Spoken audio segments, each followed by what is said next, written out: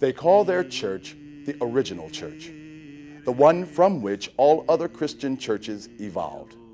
They are members of the Eastern Orthodox faith, and they represent both new immigrants and fourth generation Chicagoans. Hello, I'm Chaplain Dean with the Chicago Police Department. This is the latest in a series of videos to expand your knowledge and understanding of the many diverse communities within our city. Having even a basic knowledge of a person's customs and culture enables police officers to conduct their duties in a more efficient and respectful manner. Today, we explore the Eastern Orthodox faith. We have to realize that Orthodox is not really a faith or a religion, it's a way of life. It's how you live your life. That's the whole thing. There's a family of Orthodox churches which is correctly called the Eastern Orthodox churches. There are 14 what we call autocephalous or self-governing churches throughout the world, but in this country, since it's a pluralistic country, uh, different ethnic groups have come here at different times, uh, different Orthodox jurisdictions have been set up. No, there is uh, Romanian, Bulgarian, uh, Russian. There is even Polish Orthodox, and then and Greeks uh, and Serbs. Uh, there are Ethiopian. The distinctions come from the ethnicity. The faith is the same thing. We are united in the faith. We can go to each other's churches, receive communion.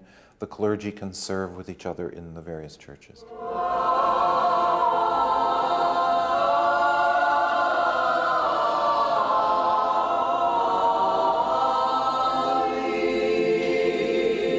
Basically, uh, in Orthodoxy, each of the various nationalities has a patriarch. Uh, but they are not like the Pope, what he called. The patriarch is one among equals, and the patriarchs themselves then elect an ecumenical patriarch who happens to sit in uh, Constantinople in Turkey. Greek, Serbian, and Russian ethnic groups represent some of the largest Orthodox congregations in Chicago. Chicago is the third largest Greek city in the world after Athens and Thessalonica in Greece. It, uh, I think Chicago is beautifully ethnically diverse and offered probably a lot of job opportunities after the Chicago fire when most of the influx of immigrants came from Greece.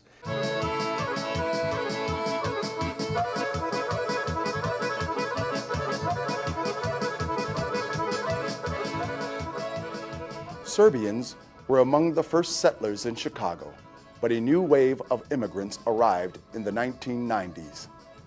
When you talk about Serbia, uh, it's one now country, uh, one of the countries uh, of Yugoslavia. But Serbs lived all over Yugoslavia. You know, they lived in Slovenia, they lived in Croatia, they lived in Bosnia, and they, uh, they still are. In Croatia, there is, because they all ex were expelled like uh, uh, seven years ago, about 400,000 of them. They had the wars there, and uh, a lot of them became refugees, and a lot of them came back to the United States. A lot of them went to Canada, and a lot of them went to Australia. The Russian Orthodox Church draws from several countries. Most of them are either from a Russian land, like Russia, Belarus, Ukraine. Um, some of them are from Poland, but that's because you know Poland's border changed many times in the course of history. Um, or they're of that background, but not everybody.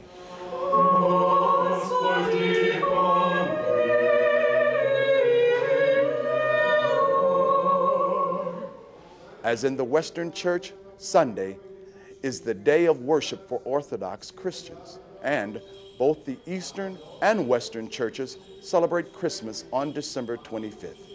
The churches, however, differ on the date for Easter.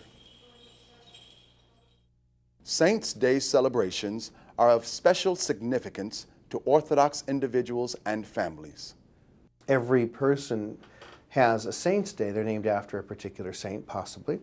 And that person would celebrate their name day or their feast day, much like we in America celebrate our birthday. Only men can be priests in the Orthodox Church, but Orthodox priests can marry. There are two ranks of clergy there's married and unmarried. The married clergy, you have to be married before you're ordained a deacon. And you can become a deacon and a priest and have children and a family, but you cannot raise, rise up in the hierarchy past priest. They came to my door, they saw, and my son answered the door, and he saw me with my collar standing behind.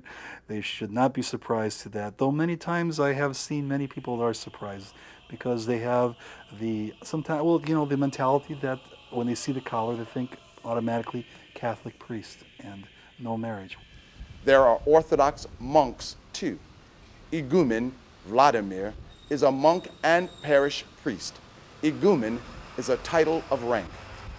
Being a parish priest, I, I try to keep my head covered. It's a, it's a sign of respect, it's a monastic um, obedience. But I certainly take my hat off for a number of things, and I would have no problem being asked to remove it for some official reason. That's no problem at all. Some Orthodox women wear head coverings in church or in the presence of church dignitaries. For example, women coming to church would traditionally not wear pants, they would wear a dress or skirt. And um, also traditionally, from old times, they are instructed to cover their heads. Um, in some cases, it, it may be you know very strictly observed. In other cases, not. Mostly the ones that do put on the kerchief over their head are the ones that are widowed. A lot of them that are widowed do that, um, especially the elderly ones. Orthodox men and women typically wear crosses that are of special significance and must be treated respectfully. Usually, when they get baptized, their godfather always uh, gives them a cross on the day, and so they wear it all their life, you know, or they, they buy another one maybe, so they wear two. If you see uh, a bishop, he has a round piece called an engolpion. Um, they're beautiful pieces. It's not a, not a problem to say what a beautiful uh, engolpion and what a beautiful piece that is, and ask if you can touch it, and usually there's no problem. Orthodox Christians wear wedding bands on their right hands and cross themselves right to left, not left to right as members of other denominations do. We go right to left is the same issue of what God said that we always want to be on God's right side in the last day of his judgment and not on his left as he separates the good people from the evil people. Most Orthodox homes have what is called an icon corner. This is an area set aside for prayer and reflections.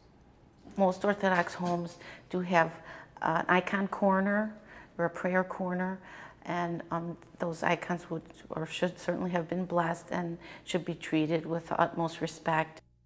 Orthodox Christians do not have three dimensional statues or crucifixes with a body of Christ affixed, but you will often see a clover design on the tips of the cross or three horizontal bars in the case of the Russian cross.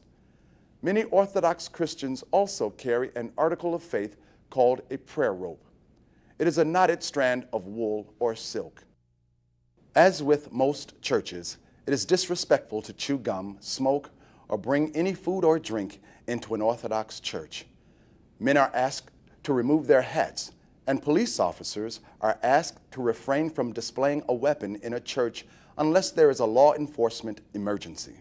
We have a prohibition against uh, guns in churches, and uh, we had an issue where a police officer came, Greek Orthodox police officer came for Palm Sunday, and his gun was in full view. and this is the concept of sanctuary, safe place, is really alive in our church, and we asked him to please remove it, cover it, do something with it. But if there is a call, uh, if somebody comes in the church make prob problem, I think you know they can in that instance they can walk in there with a gun and you know ask person to leave or try to apprehend him. Also within the church, it is disrespectful to sit with your legs crossed. Arms should be kept crossed in front or hanging down by a person's side, and hands should not be kept behind the back. In the Orthodox Church, we have a real keen sense of a, a, space being sacred. So just be as respectful as you can, but you know, you have to do what you have to do. If it's, you know, like if it's a medical emergency or whatever, you know, you just, you have to go about your business, but try to be as respectful as you can. Keep these things in mind when dealing with members of the Eastern Orthodox Church. Eastern Orthodox churches may serve different ethnic groups, but all are of the same faith. Articles of faith important to Orthodox Christians include crosses on neck chains, and prayer ropes. Most Orthodox Christian homes have icon corners, an area set aside for blessed icons. Male police officers should remove their hats in church. Police officers are asked not to display a weapon in the church unless there is a law enforcement emergency. All of the people we encounter on a daily basis expect to be treated with dignity and respect. Those who practice the Eastern Orthodox faith are no exception. It is our hope that this video will serve to enlighten and foster a new awareness and understanding. Thanks for watching, and as always, stay safe.